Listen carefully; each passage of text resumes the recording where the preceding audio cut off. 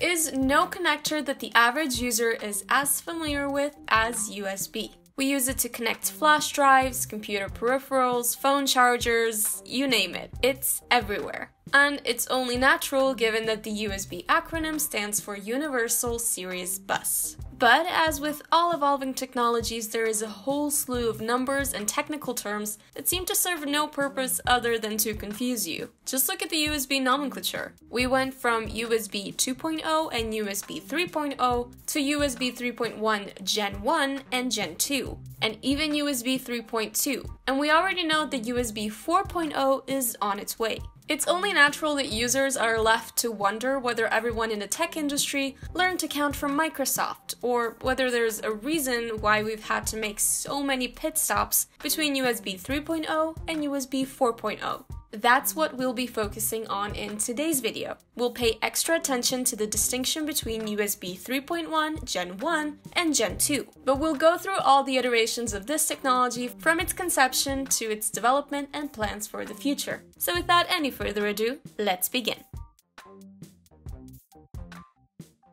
Try and imagine a world without the USB port. It's a lawless land where every manufacturer is making their own ports and connectors, and the average user always has to be on the lookout for parts that don't fit and aren't compatible. This is what the world looked like before 1996. And let's not forget that this was a time when very few people had internet connections, and those who did had abysmal ones. So you can't help but feel pity for the poor gamer who went to the hardware store and didn't know what connectors he needed on the ends of his cables. USB was created precisely because there was a need for a simple, universal connector that could be used with many devices. It was a result of a collaborative effort of seven big IT companies Compaq, IBM, DEC, Intel, Nortel, NEC, and Microsoft and it made the lives of both users and hardware manufacturers way easier. Obviously, it has evolved over time, but the differences between the original USB, USB 2.0, and USB 3.0 are about as simple as they appear on paper. The newer iterations are faster and they are all backwards compatible. There's a bit more to it than that, of course, but that's all you as the user needed to know.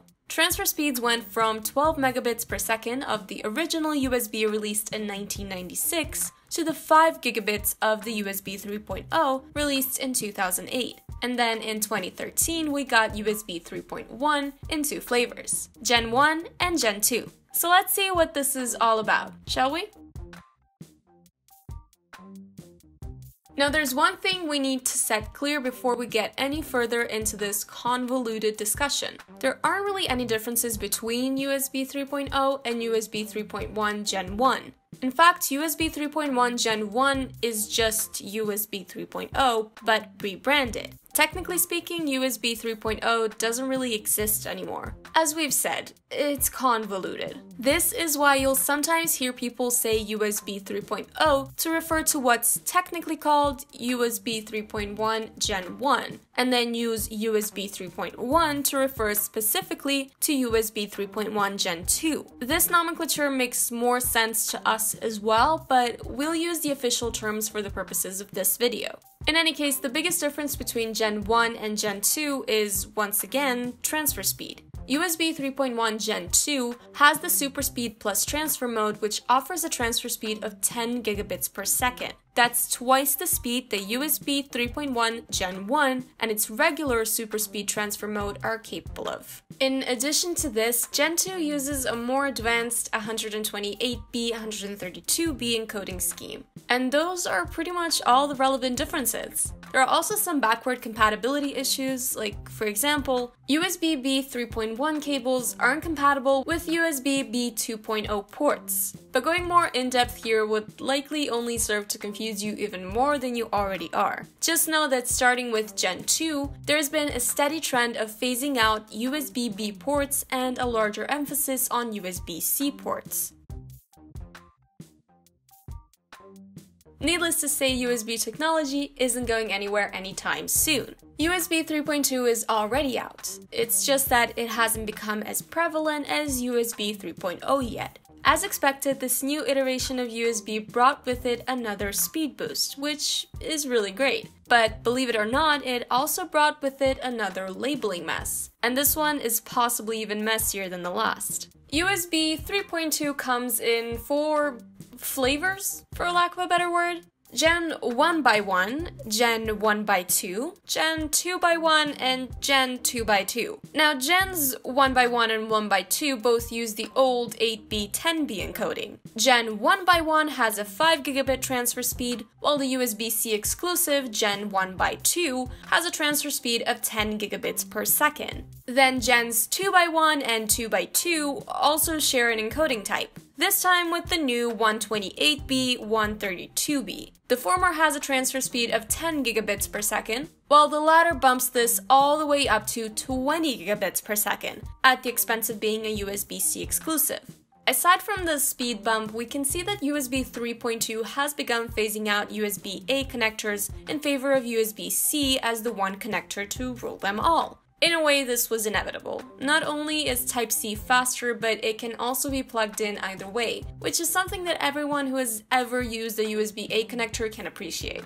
As for the future iterations of USB, we already know that it will support transfer speeds of 40 gigabits per second and only use the USB-C connector. What's more, it's going to feature Thunderbolt 3 compatibility, so Apple and Android devices will likely be able to share chargers. What a time to be alive, honestly.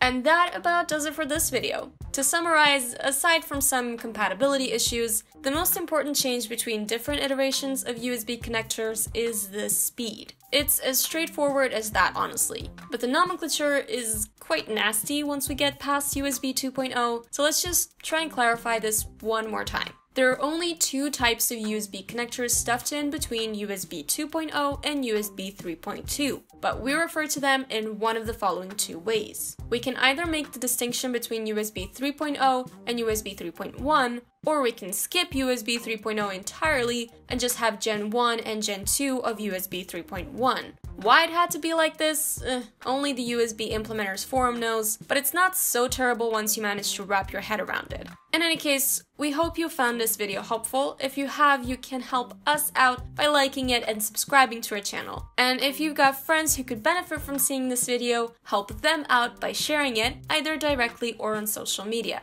Also, if you want to see more videos like this one, make sure to click on the bell icon so that you'll get a notification whenever a new video gets released. We upload new videos regularly, so keep an eye out for the notification bell for the next one. In the meantime, your games be fun and your losses few. And as always, we'll see you next time on Gaming Scan.